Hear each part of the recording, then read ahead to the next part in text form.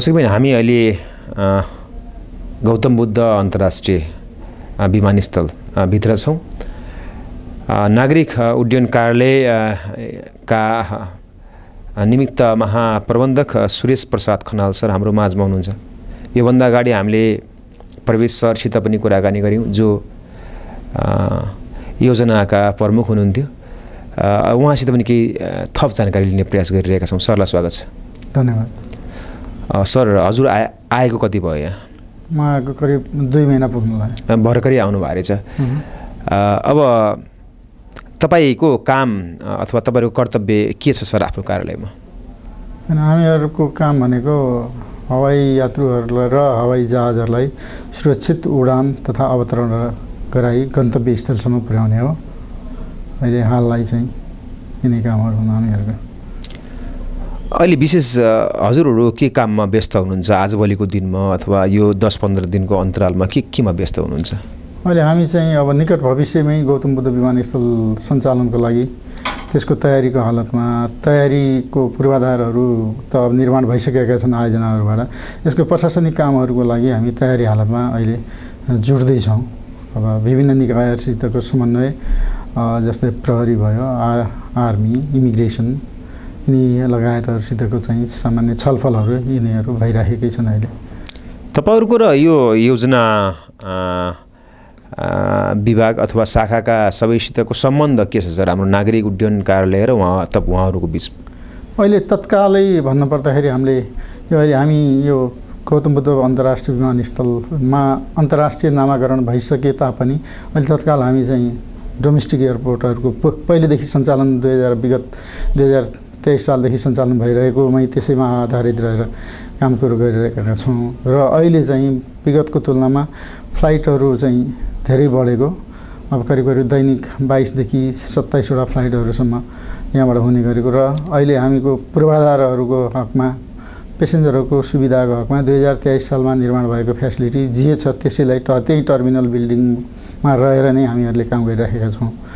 र अब अहिले चाहिँ त्यसलाई कसरी सामान्यकरण र जहाजलाई कसरी सहज अवतरण र सजिलो किसिमले अवतरण गराउने र पेसेन्जरलाई कसरी सजिलो किसिमले यहाँ एयरपोर्टमा के के फेसिलिटी दिन सकिन्छ भन्ने कुरामा चाहिँ हामी विशेष रूपले चनाखो भइराखेका छौँ। यति चनाखो हुँदाको बावजुद पनि हाम्रो टर्मिनल बिल्डिङको कन्सट्रेन्टको कारणले सामान्य साँगुरोपनको कारणले गर्दाखेरि र जहाजहरूको पनि लगातार एकै एकै टाइममा साँझको टाइममा बढी चाप पर्ने हुँदाखेरि त्यसलाई म्यानेज गर्न गाह्रो भइरहेको अवस्था अहिले छ। तपाईँले भनिहाल्नुभयो सर धेरै चाप छ यहाँबाट दैनिक जसो धेरै विमानहरू उड्ने त्यसै गरेर चाहिँ अवतरण गर्ने भन्ने कुरा पनि गर्नुभयो। किन यो बढी भइरहेको छ सर अहिले? अनि बढी के भने अब नेपालीहरूको पहिले नेपालीहरूको अब यो के भने अब हालको अवस्थामा चाहिँ यो अलिकति कन्ज्युमर उसमा कन्ज्युमिङ क्यापेसिटी बढ्दै गएको र अनि सुविधा पनि हुँदै गएको। अर्को कुरा के भने जहाजहरूले पनि फ्लाइट चाहिँ क्यान्सल नगर्ने र अनि यहाँ चाहिँ रातिको ल्यान्डिङ फेसिलिटी भइरहेको हुनाले पहिला जस्तो तपाईँको जहाजको अब टाइम सकियो अब फ्लाइट हुँदैन भन् जस्तो कि नभएको र अनि धेरै जसो एयरलाइन्सहरूको यो अब ग्राहकप्रति यात्रुप्रति उनीहरूको कसरी आफूतिर तान्न सक्ने भन्ने हिसाबले गर्दाखेरि काटिसकेका टिकटहरू क्यान्सल नगर्ने र अनि इफोर्टेबल रेटमा जस्तै अब यहाँ तपाईँ कुनै कुनै दिन चाहिँ हामी दुई हजार पच्चिसैमा पनि यहाँबाट काठमाडौँ जान सक्छौँ जबकि गाडीको भाडा नै हजार बाह्र सय रुपियाँ पुगिसक्यो। त्यो इफोर्टेबल रेटमा उनीहरूले कहिलेकाहीँ दुई हजार पच्चिस सय भन्नुभयो फेरि कहिलेकाहीँ चार हजार पैँतालिस सय पनि जान्छ त्यो त्यो मात्र नै के कारणले गर्दाखेरि? कहिलेकाहीँ तपाईँको छ हजार पाँच सय पनि परेको हुन्छ उनीहरूको नर्मल रेटमा। अहिले। कुनै दिन चाहिँ। अब उनीहरू के कारण भन्दाखेरि तपाईँको जहाजहरूको टु वे पेसेन्जर उनीहरूलाई चाहियो। त्यो टु वे पेसेन्जरमा एकातिर धेरै एकातिर फुल फेयरको बेच्न पायो भने अर्कोतिर लो फेयरमा पनि उनीहरूले उडाउन खोज्दा रहेछन्। र त्यो जहाजको अब उड्न त आउन त छँदैछ। त्यो अब यहाँबाट खाली किन उड्ने? अथवा जान त छँदैछ खाली किन जाने भन्ने हिसाबले लास्टमा अफर चाहिँ यो खो खोल्दो रहेछ अहिले। अब एयरपोर्टको शान्ति सुरक्षा पनि राम्रो हुनुपर्छ भन्ने कुरा पनि छन् सर। किनभने अब यात्रुहरू त अब बाह्र एक बजे पनि आउने जाने हुने सक्छन् होइन सर। त्यसको लागि भनेर विशेष के कस्तो प्रयासहरू अथवा तपाईँहरूबाट भएका कुराहरू के रहन्छन्? अब यस्तो छ। यहाँ कस्तो छ भने राति नौ बजीसम्म यहाँबाट उड्ने जहाज उड्नेको त सेड्युलै छ अहिले सा साढे आठ नौ। कुनै दिन नौ नौ नौ बजे कुनै दिन साढे आठ बजीसम्मको यिनीहरूको सेड्युल राखिराखेको छ।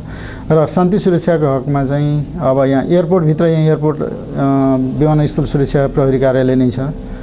त्यो लगायत यहाँ विमानस्थल सेमु भन्ने अ, सुरक्षा काम पनि छ उसको आ, नेपाल आर्मीको। र अनि बाहिरको त अब बाहिरको हकमा चाहिँ रूपन्देही जिल्ला प्रशासन कार्यालयबाट अब त्यो अनुसारको जिल्ला जिल्लामा रातिमा हुने निगरानीहरू त भइराखेकै छ। सर यहाँबाट कुन कुन ठाउँ नेपालका कुन कुन ठाउँमा हामी जान सक्छौँ? अहिले अहिले चाहिँ यहाँबाट चाहिँ एउटा भरतपुर काठमाडौँ पोखरा र विराटनगर हाललाई। नेपालमा जाने चाहिँ छैन नेपालगञ्ज जाने चाहिँ छैन। किन उत्तीर्ण गराइराख्यो? अब यहाँ यी फ्लाइटहरू चलेको भनेको के छ भने यहाँबाट भरतपुर जाने भनेको यो बाटोको कारणले हो दाउन्नेको यो बाटो अहिले मर्मत भइरहेछ। अनि पोखरा त टुरिस्ट सेक्टर भयो हुने नै भयो।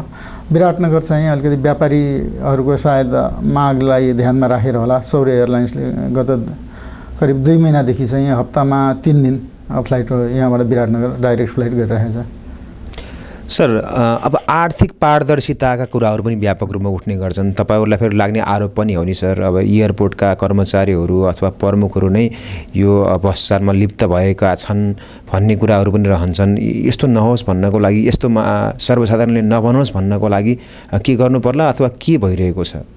होइन आर्थिक पारदर्शिता सबै पारदर्शी रूपमा नै भएको छ। होइन त्यस्तो कुनै केही छ भने त्यो त त्यसलाई त अब सम्बन्धित निकायले कारवाही गरि नै हाल्छ। त्यो आर्द आ- हरेक चिजको चाहिँ। त्यस्तो चाहिँ केही पनि छैन? त्यस्तो जहाँसम्म लाग्छ अहिलेसम्म भएको छैन। सर के छ? अब अहिलेसम्म भएका अथवा गएको आर्थिक वर्षमा र यस आर्थिक वर्षमा गर्नुपर्ने कामहरू अथवा भएका राम्रा कामहरू के भए? र गर्नुपर्ने काम त अब धेरै नै छन् है। अब यो मध्येका अब हामी चाहिँ अहिले धेरै जसो चाहिँ यो एयरपोर्ट भनेको अब आयोजनातिर नयाँ रनवेतिर नयाँ अन्तर्राष्ट्रिय विमानस्थलतिर फोकस भएको भएर डोमेस्टिकतिरको चाहिँ अलिकति यो पार्किङहरू हाम्रो एक्सटेन्सनको बाँकी नै छ यो अनि त्यसपछि भएको टर्मिनल बिल्डिङ यात्रुलाई सरसुविधा अथवा एयरलाइन्सलाई काउन्टरहरू पनि हामी तपाईँको साँझको टाइममा देख्नुभयो भने अलि हामी भिड नै छौँ। अब त्यसको लागि अब टर्मिनल बिल्डिङको अलिकति व्यवस्थापन अलिक ठु- ठुलो र यात्रुहरूलाई बस्ने ठाउँहरूको व्यवस्थापन र अनि आउने यात्रुहरूको गाडीको पार्किङ गर्नको लागि अथवा गा यात्रु ओह्राल्ने वा उतार्ने अ, चढाउने गर्नको लागि पार्किङको पनि अलिकति हामीहरूलाई गाडी पार्किङको पनि समस्या भइरहेको छ हाललाई। सर दिनमा कतिवटा भन्नुभयो तपाईँले यहाँबाट? यहाँबाट बाइसदेखि तपाईँको सत्ताइसवटासम्म फ्लाइटहरू भइरहेको हुन्छ। कुन कुन एयरलाइन्सको सर? यहाँ यहाँ अहिले मेजरली मेजर यहाँ अहिले हाल चाहिँ पाँचवटा एयरलाइन्सहरूले फ्लाइट गर्छ। बुद्धले बुद्धको Yeti airlines Buddha Buddha airlines Yeti airlines Guna airlines अनि त्यसपछि आएर अ, शौर्य र श्री एयरलाइन्स। सर कहिलेकाहीँ अब ल्यान्डिङ गर्दा अथवा तपाईँको टेप टेकअप गर्दाखेरि चाहिँ कुनै पनि त्यसका दुर्घटनाहरू अथवा केही पनि नहोस् भन्नको लागि हाम्रो यो विमानस्थल कतिको सुरक्षित छ अथवा के भन्न चाहनुहुन्छ हजुरले?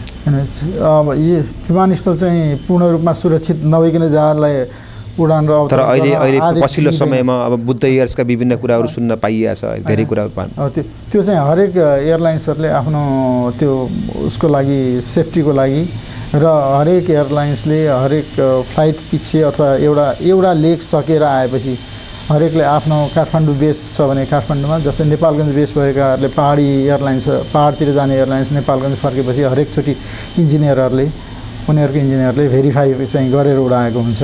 र नेपालमा त्यसैको सुरक्षाको लागि अब पेसेन्जर फ्लाइट चाहिँ सिङ्गल इन्जिन भएका जहाजहरूले नबोक्ने भनेर सेड्युल फ्लाइट नगर्ने भनेर हरेक जहाजहरू डबल इन्जिन भएकोले नै अहिले उडान गरिरहेका छन्। सर टेक्निकल्ली तपाईँहरूले के कस्ता सहयोगहरू गर्नुहुन्छ जहाजलाई? यहाँ ल्यान्डिङ गर्दा अथवा उड्दा के कस्ता टेक्निकल कुराहरू जहाजको टेक्निकल पाटो जहाज उनीहरूको एयरलाइन्स आफैले नै गरे हुन्छ र हामीहरूले दिने ग्राउन्ड सहयोग मात्र हो कस्ता कस्ता सहयोगहरू होइन? हामी होइन ग्राउन्ड सहयोग भन्नाले तपाईँको हामीहरूले भएको ग्राउन्डमा जडान गर्ने इक्विपमेन्टहरू रनवे लाइटहरू तपाईँको भिओआरडिएमई दिशा देखाउने यन्त्र भिओआरडिएमई भयो त्यसपछि पापी लाइटहरू यिनीहरू हामीले ग्राउन्ड सहयोग हामीहरूले दिने हो यिनीहरू सर विशेष गरी कुन कुन भेगबाट अथवा कुन कुन जिल्लाबाट विशेष आउनुहुन्छ सर यहाँ?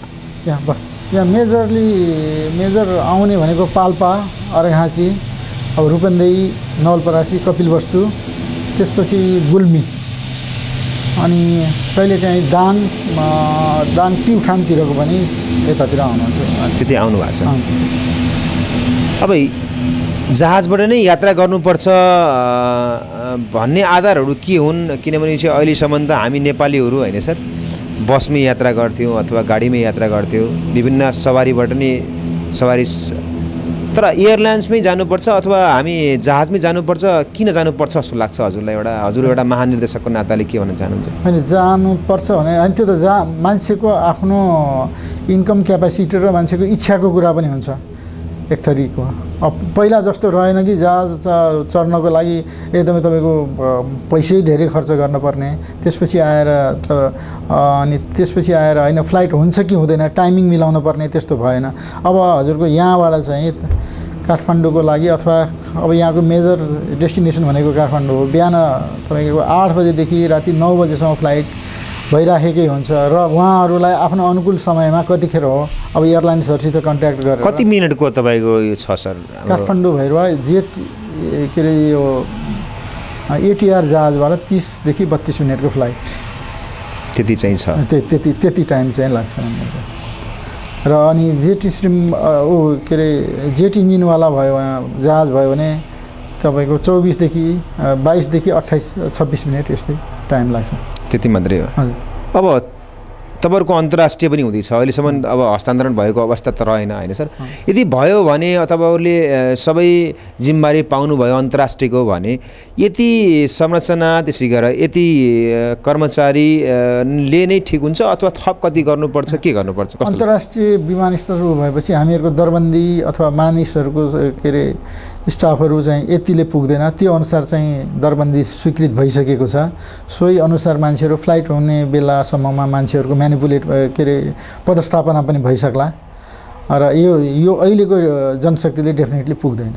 पुग्दैन अन्य त्यो चाहिँ दरबन्दी स्वीकृत भइसकेको छ मानिसहरूको पदस्थापना पनि भइराखेको छ। उहाँहरू सुरु भएको सुरु हुने अब निदो यो मितिदेखि हामी सञ्चालन गर्छौँ भन्ने भयो भने त्यो त्यो बेलामा चाहिँ हामी पूर्ण रूपमा तयारी नै हुन्छौँ। यसरी हामीलाई छोटो मिठो जानकारी दिनुभयो त्यसको लागि धन्यवाद दिन चाहन्छौँ। अन्तमा आफू एउटा महाप्रबन्धकको एउटा कार्यालय प्रमुखको नाताले के भन्न चाहनुहुन्छ सम्पूर्ण दर्शकबिन त्यसै गरेर यहाँ आउने र यहाँबाट जाने यात्रुहरूलाई। अब यहाँ आउने र यहाँबाट जाने यात्रुहरू लुम्बिनी यहाँ तपाईँहरू यहाँबाट फ्लाइट गर्न अथवा जुनसुकै ठाउँबाट पनि नेपाल यहाँ मात्र म भन्दैन। जुनसुकै ठाउँबाट फ्लाइट गर्न पनि तपाईँ हवाई यातायात चाहिँ सुरक्षितै छ। त्यस्तो हवाई यात्रुहरूले त्यस्तो अ- आत्तिनु पर्ने स्थिति केही पनि छैन।